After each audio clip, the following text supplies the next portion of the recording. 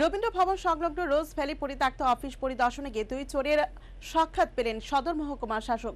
পুলিশের তাড়াকে দুই চোর পেছন দিক থেকে পালিয়ে যেতে সক্ষম হয়। বুধবার দুপুরে এই ঘটনায় চাঞ্চল্য ছড়ায়। এই ঘটনায় তাজ্জব বনে যান খোদ সদর মহকুমার শাসক অসীম সাহা।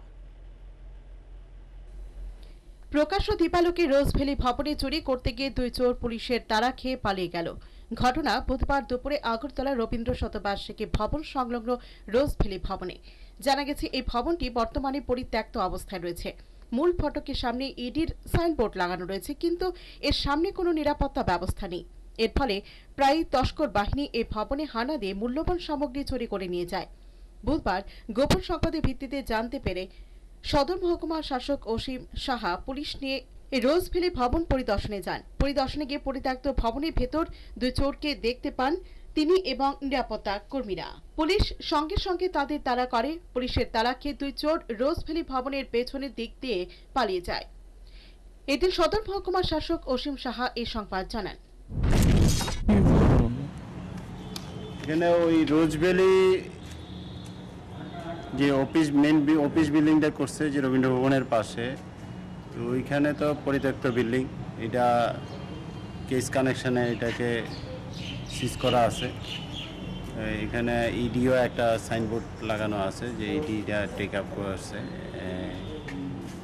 এটা যে দেখা যায় আনগার্ডেড অবস্থা আছে আর ভেতরে জিনিসপত্র যেগুলি ছিল দরজা জানালা সেরকম এ, শক্তপোক্ত না থাকার কারণে বিভিন্ন জায়গায় ভাঙাচোরা আছে। এই ফাঁক দিয়া কিছু দুষ্কৃতিকারী যিনি ভেতরে জিনিসপত্র চুরি করতে থাকে।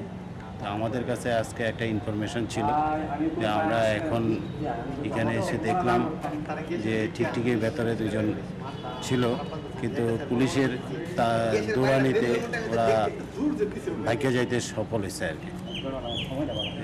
এটা একটা খুবই চিন্তার বিষয় শহরের মেন রোড করে। আজকে হয়েছে স্যার? আজকে। আজকে উল্লেখ্য মঙ্গলবার দুপুরেও সদর মহকুমা শাসক পুলিশ নিয়ে এই ভবনে আসেন। কিন্তু গেটের তালা চাবি সাথে না থাকায় ভেতরে যেতে পারেননি। এই ঘটনা নতুন কিছু নয় এর আগেও রোজভ্যালি এই ভবনে একাধিকবার চুরি হয়। ইতিমধ্যে ভবনে কম্পিউটার ফ্যান লাইট প্রভৃতি চোরেরা লোপাট করে দেয়। লোপাট হয় তদন্ত কার্যের বহু গুরুত্বপূর্ণ নথিও। কিন্তু আরক্ষা প্রশাসনে এই চুরি বন্ধে কোনো সক্রিয় উদ্যোগ নেই। পুলিশের নিষ্ক্রিয়তার কারণে রোজভ্যালি ভবনে চোরের উৎপাদ বৃদ্ধি পেয়েছে বলে তথ্যভিজ্ঞ মহলের অভিমত। Bureau report হালাবো